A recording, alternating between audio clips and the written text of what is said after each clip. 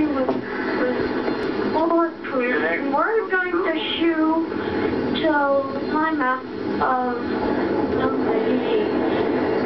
This is a tour of, of Mickey D's McDonald's. To the area up here, which is which you go through the drive-through and go back here. Order your food, go around, drive up where the person gives you your food, drive up back to the parking lot, you out your car, and you, you come out into here and eat. That's what you do on my map of Mickey D's.